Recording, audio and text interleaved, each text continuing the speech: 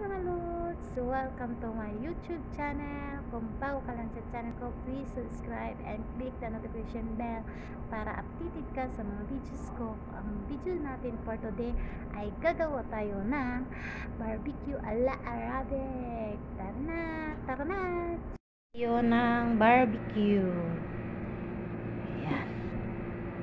Nilagay ko siya, ninugasan ko na, pinahiwa ko ng pa square tapos lagyan natin ng sabati or yogurt.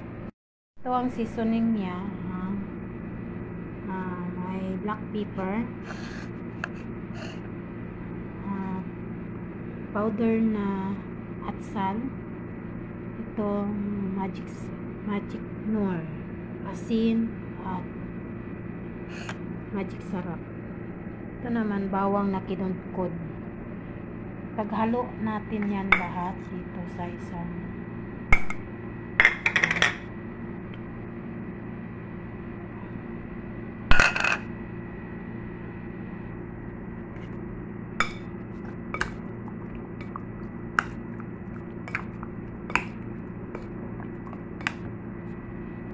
Nandiyan natin konti ng katas ng lemon, konti lang.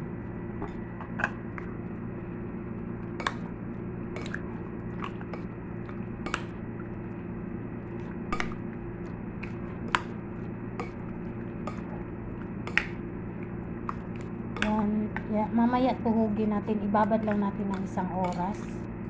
Tuhugin natin yan mamaya.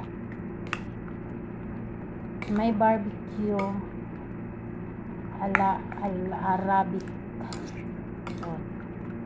Arabic po. Barbecue ng Arabic. Mga Arabo. Ito yung barbecue nila. Ganyan.